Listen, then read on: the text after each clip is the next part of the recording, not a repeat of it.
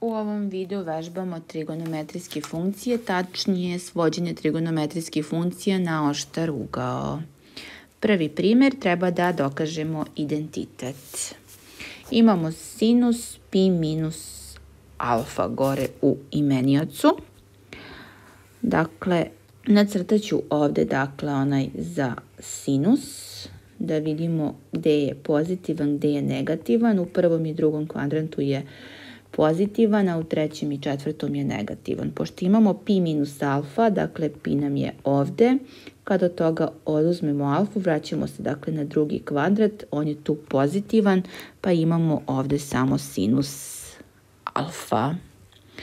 Dole imamo kosinus pi pola minus alfa, za kosinus imamo plus plus u prvom i četvrtom, a u drugom i trećem je negativan.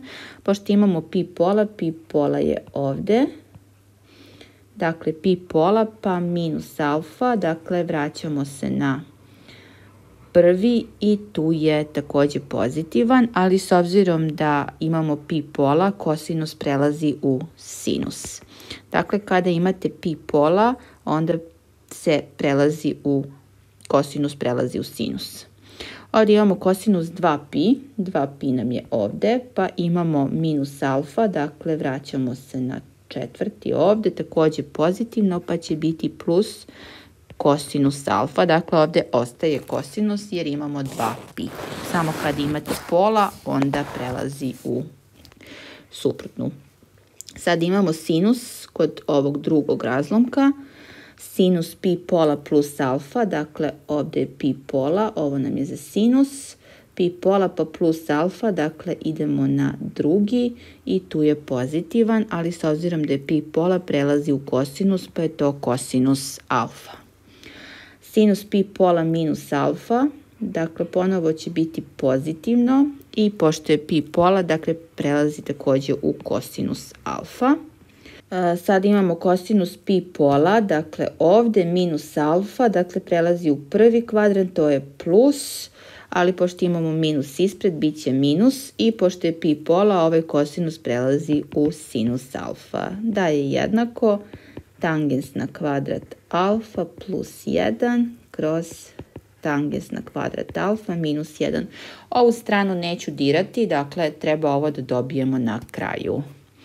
Ovo će dalje biti jednako. Dakle, ovdje mogu odmah n za vidimo da je to razlika kvadrata, odnosno možda je i bolje e, da prebacim pa da bude sinus na kvadrat minus kosinus na kvadrat alfa, dakle ovdje da izvučem minus, pa ovdje da bude sinus alfa minus kosinus alfa, tako da ću ovdje u sredini imati onda plus, jer ovaj minus i minus će mi dati plus a dakle n za će biti sinus na kvadrat alfa minus kosinus na kvadrat alfa.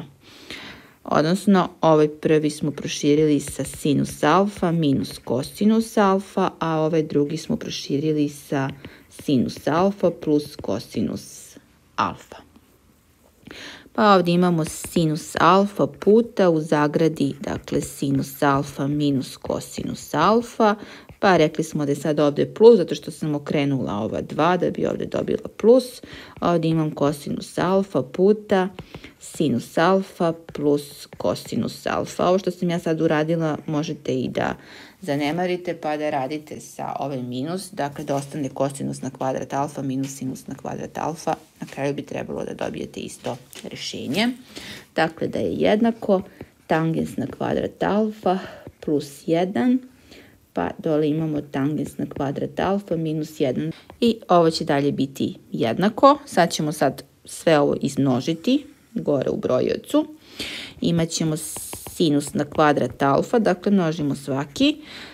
Pa imat ćemo minus sinus alfa kosinus alfa, pa ovdje imamo plus, sad kosinus alfa množi ovu drugu zagradu, pa je to kosinus sinus alfa i imamo plus kosinus na kvadrat alfa da je jednako, dole ćemo prepisati ovo, dakle sinus na kvadrat alfa minus kosinus na kvadrat alfa da je jednako tangens na kvadrat alfa plus 1 kroz tangens na kvadrat alfa minus 1.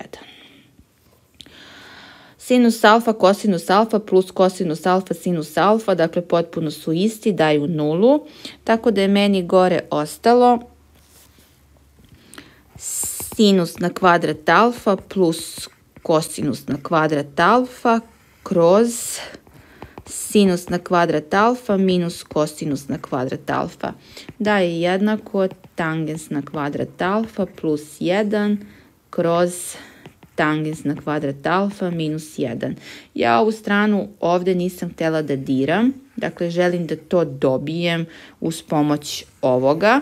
I sad ja znam da je sinus na kvadrat alfa plus kosinus na kvadrat alfa jednako 1, ali ako to uradim ja ništa time neću dobiti.